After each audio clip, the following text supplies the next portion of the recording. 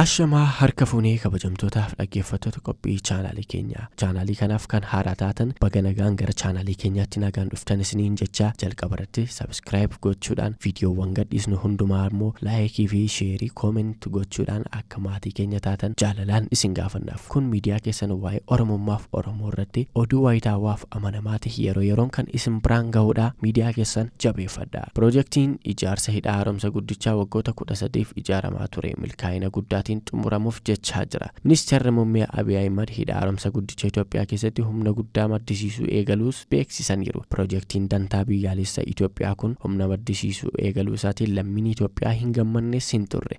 Garaagarummaa siyaasaa fi ilaalcha irratti hundaa'uun lammiilee gidduutti waliigaltee dhabuun jiraatus lammiileen Itoophiyaa hundi dantaa biyyattiitiif ejjennoo tokko akka qaban argisiiseera. Hidha haaromsaan guddichi waqtii qorraa afran darban guutamee waggootaaf naannichatti madda falmii ta'ee ture. Ifatti humna ibsaa maddisiisuus eegaleera. Ijaarsi tarbaayinota kudha sadii hunda yeroo xumuramu dandeettii maddisiisuu waliigalaa hidha haaromsaa guddichi meeggaawwaatti kuma shaniif dhibba tokkoof shantama akka ga'u himama. Kunis afrikaa keessatti jenereetarri elektiriikii bishaanii isa guddaa taasiseera. Ministeerri bishaanii fi inerjii baajata mootummaatiin bittaa boondii Itoophiyaaf ijaarsa hidha haaromsaa guddichaaf birrii biiliyoona dhibba tokkoof jaatamii sadii akka bahee beeksise. Hidhichi ol ka'iinsa meetira dhibba tokkoof afurtamii shanii fi dheerina meetira kuma tokkoof dhibba torbaaf saddeettama qaba hidhichi bishaan meetira kiiyubii biiliyoona torbaatamii afur yeroo qabatu dheerina bishaanii kiiloomeetira dhibba lamaaf afurtamii ja'a akka ga'us ibsama dhimma hidha haaromsaa guddicha waggoota hedduudhaaf masir sudaanii fi Itoophiyaa gidduutti marii sadii ta'ee ture mana marii nageenya dhaabbata mootummoota gamtoomaniin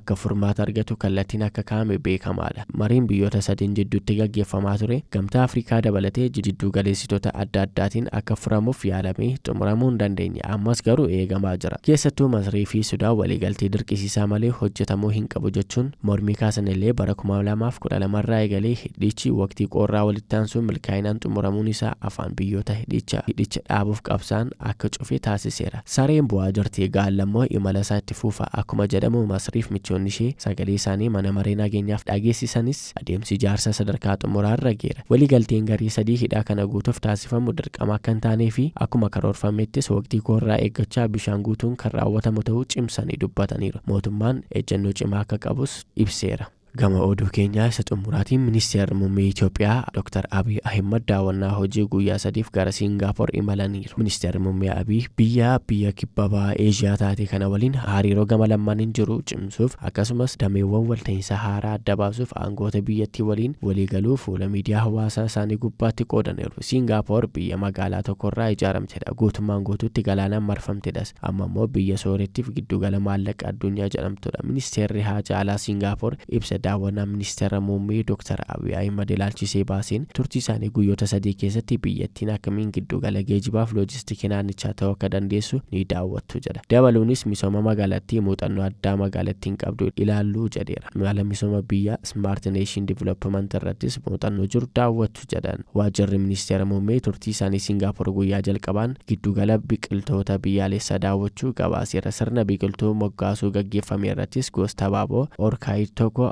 arandaa Abiy Ahimad Zinaash Taayyachoo jedhamee moggaafameera. Ministeerri muummee Abiy Siingaappooriin yeroo daawwatan kun yeroo jalqabaaf. Hariiroon biyyoota lameenii garuu erga eegalee waggoota 55 guuteera. Ministeerichi ibsa baaseen daawwannaa isaaniin kun hariiroo michummaa kana jabeessuuf gargaaras jedheera. Biyyi kun odola kibba bahaa Eeshiyaatti argamtudha. Seenaa keessattis biyya kolonii Ingiliis jala turte kun ammoo giddugala maallaqa addunyaati. Harka humnoota Jaappaan jalattis waggoota muraasaaf bulteetti. Siingaappoor addunyaa irratti biyyoota uummata hedduu qaban keessaa tokko. Uummata biyyattii keessaa dhibbeentaan torbaatamii shan warra chaayinaadha kanaafan warra maaleeshiyaa fi hindiyaadha biyyattiin magaaluma tokkorraa ijaaramte. Uummanni biyyattii walumaa galatti miiliyoona shan tuqaa jaata giddu galeessaan dhiirri tokko waggaa saddeettamii tokko dubartoonni ammoo umurii waggaa saddeettamii ja'a lubbuun jiraatu. Bara kudha lama sagaltamii sagalitti nama saangniilaa utumaa jedhamu mootummaa siingaapooraa jedhamuun akka ijaaramte seenaan ni hima seenaan ammayyaa biyyattii garuu bara kudha saddeet digdamii afuritti nu geessa bara kana oddolli kun guutummaan guututti harka koloneeffattoota ingiliis jala turte. Bara kudha 1939 waraanni addunyaa lammaffaa dhalachuu booda 1942tti biyyattiin harka humnoota Jaappaan jala galte humnoonni Ingiliis 65 ta'anis Singaapoor keessatti harka isaanii humnoota Jaappaanitti kennatan kunis seenaa Ingiliis keessatti waraanasa guddaa harka kennate ta'ee galmaa'e. Bara 1945 ammoo Jaappaan deebitee Ingiliiziif harka laatte Singaapooris harka Ingiliizotaatti deebite. Ollaa ishee kan jirtu Maaleeshiyaan 1957 harka warra Ingiliis jalaa bilisa baate. 1963 ammoo Singaapoor federeeshinii Maaleeshiyaatti makamte? 1965 ammoo federeeshinii Maaleeshiyaa jalaa baatee biyya of dandeesse taate egaa kabajamtootaaf dhaggeeffattoota qophii chaanaalii keenya hanga xumura sagantaa keenyaatti waan nu faana turtaniif galatooma.